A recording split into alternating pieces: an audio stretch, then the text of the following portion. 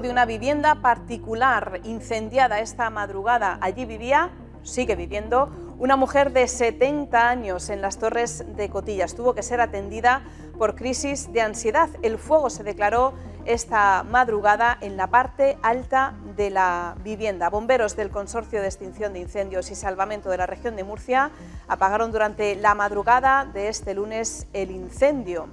La mujer, ahora mismo de 70 años, está siendo atendida por una crisis de ansiedad. Eh, Bayona, estás en directo con sus familiares. Lo primero de todo, ¿cómo se encuentra ella? Ahora mismo, afortunadamente, ya un poquito más tranquila. El problema es que no ha sido el único incendio que ha registrado esta vivienda de la calle La Condomina en eh, las Torres de Cotillas. En menos de 24 horas han sido dos los focos que se han tenido que apagar. El de anoche, el de la pasada madrugada, evidentemente muchísimo más grave. Ahora mismo ya su familia lo que está haciendo es recoger los escombros de esta parte alta de la vivienda que afortunadamente las llamas no abandonaron, no salió hacia afuera. Iván es uno de los hijos de Teresa eh, y además estabas aquí cuando se declara el incendio. Eh, eh, creo que fue tu hermano, ¿no? El que detectó el humo y el que actuó con rapidez junto a ti, evidentemente. Sí, sí, yo también escuché las tejas caer y entonces subí corriendo. Y mi hermano chillando, Iván, Iván. Y ya cuando subí, vimos el fuego y bajemos corriendo para abajo. Digo, coge a la mamá, coge a la mamá y sal. Cuando entonces iba a coger a mi madre, pero él salió, no la vio. Entonces yo cogí a mi madre y la saqué fuera, a la calle. Evidentemente con un eh, estado de nervios eh, tremendo. Un ataque de ansiedad. Tuvieron que tratarla por un ataque de ansiedad. Iván, Ángel, eh, ¿me comentáis que sospecháis que el incendio puede haber sido provocado? Claro.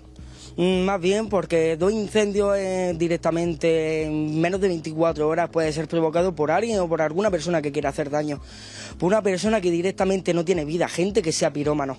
Entonces, como yo recomiendo mm, que tengan más seguridad, al menos en las torres de cotilla en la condomina, porque seguridad no hay ninguna, al menos que sea por la policía, sea guardia civil, no me importa, pero que haya seguridad porque aquí lo siguiente va a ser un robo.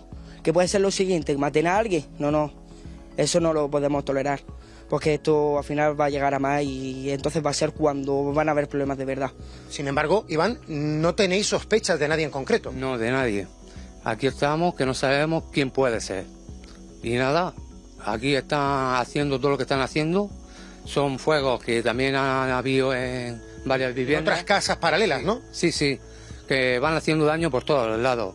Van prendiendo fuego, no sabemos por qué, y aquí estamos que no sabemos qué vamos a hacer. Si es que no hay seguridad, eh, ni municipales, ni policías, nada, nada. Por aquí no pasa nadie.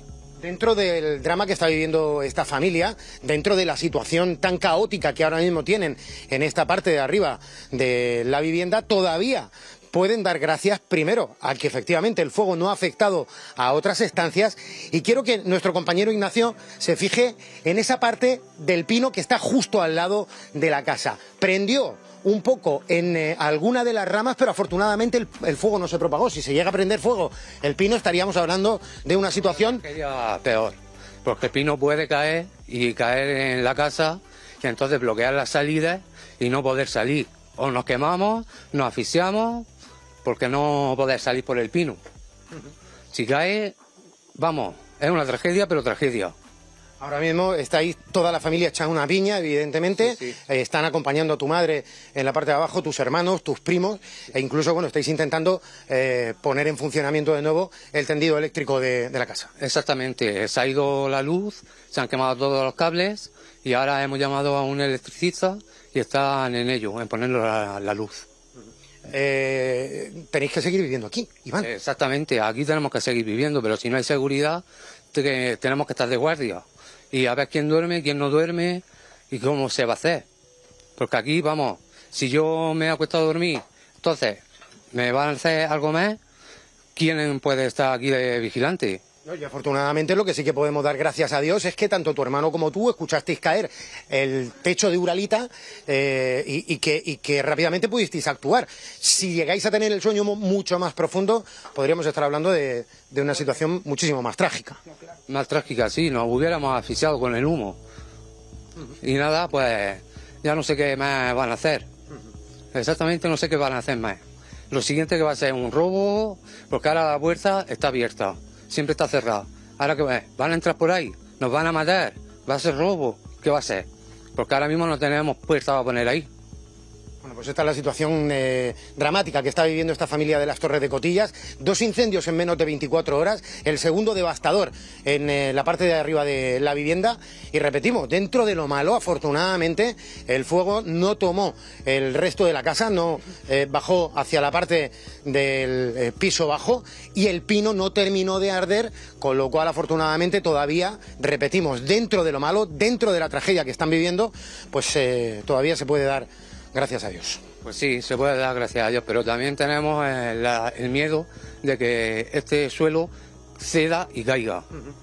A ver qué vamos a hacer, porque la casa se ha cedido un poco.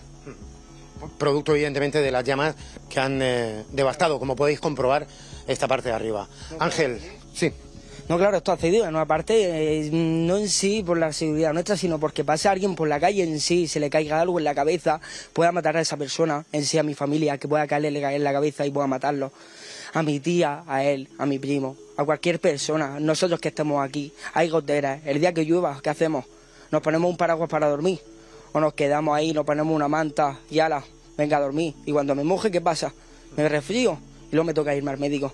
Cuando no tengo esa economía directamente, bueno, a lo mejor ellos no tienen esa economía como para ellos ahora mismo ponerse a arreglar esto, porque eso, mm, tú te pones a arreglarlo y te cuesta un pastizal la hora. Tú esto, pues bueno, recogerlo podemos nosotros, pero empezar a echarle mallazo al suelo, tío, a ti que te cuesta dinero. Y no es dinero de decir, no, no, ni 400 ni 500 euros, no, no. A José te van 1000, 1200 y 1300 euros. Entonces la economía es muchas cosas. Gente que somos honrados, gente que somos buena gente, encima de todo que estén haciendo esto, ¿sabes qué tenemos que ser? Unos hijos de putas para que no...